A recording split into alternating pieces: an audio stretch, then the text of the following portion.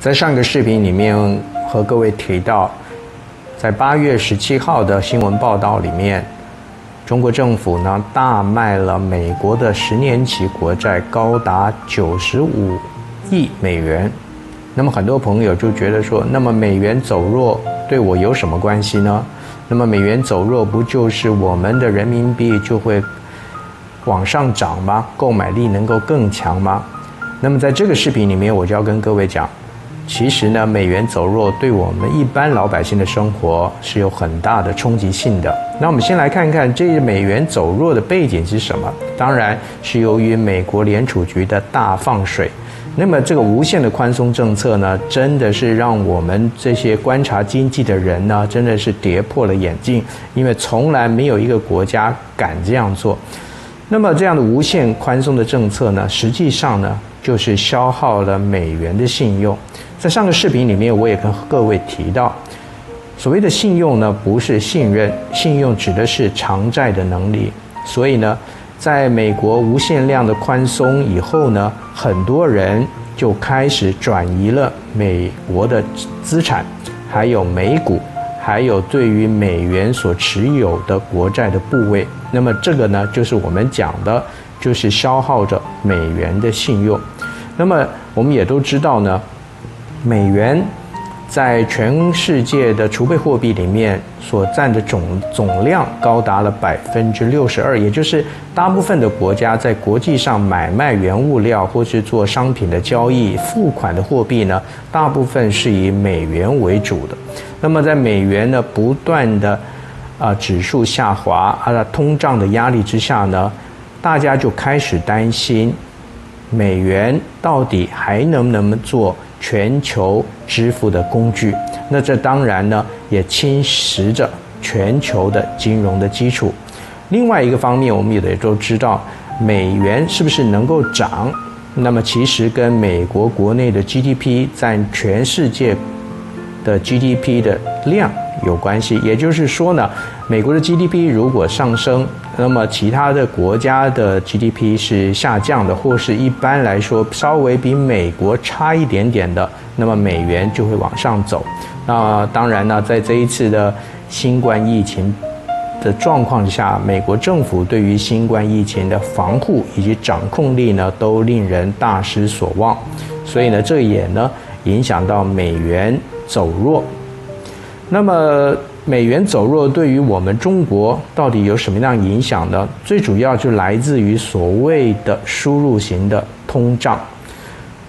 再一次的说明，通胀指的是什么？通胀就是指钱太多。我们都知道呢，这个所有的物品呢都有它的供需的原理，也就是说呢，东西越稀少，那么它的价格就会越高；东西越多，那么价格就会往下。因此呢，我们可以看得出来，在美国的这个部分呢，美元的通胀是已经势必去形成了。那么对于我们这些市井小民会面临到什么压力呢？这样输入型的通胀，以中国来说呢，是属于以外贸为主的国家。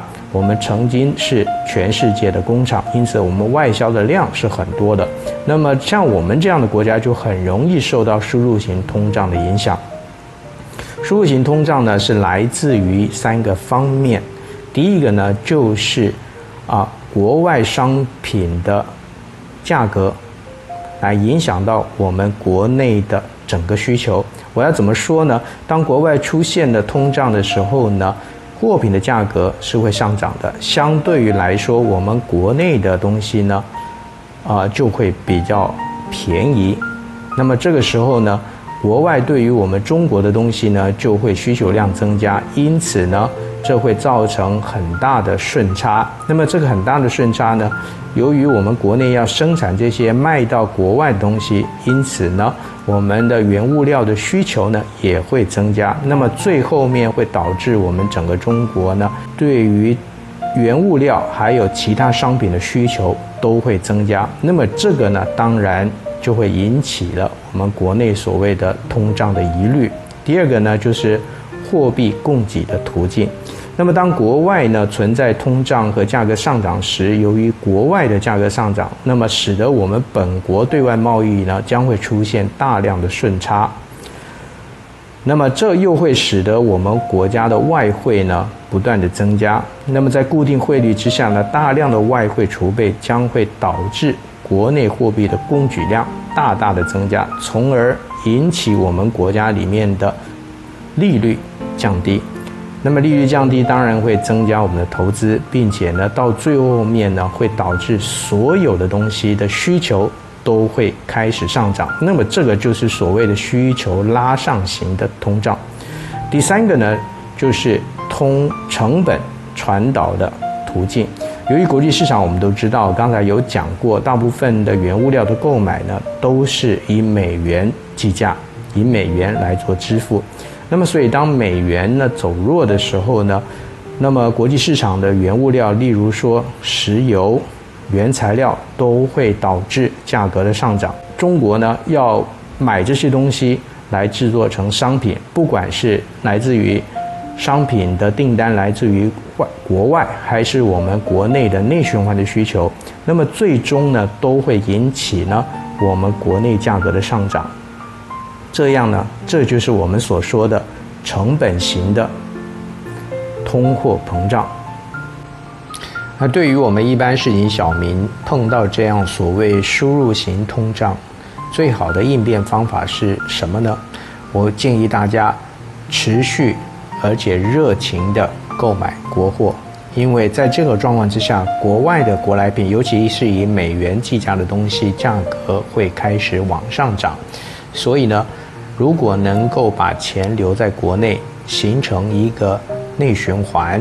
也就是经济都能够自己成长的话，那么我们国家的经济活力会再度上升，而且呢，这也会使我们的就业市场还有国内的供需状况能够获得更好的前景。好了，回见了您。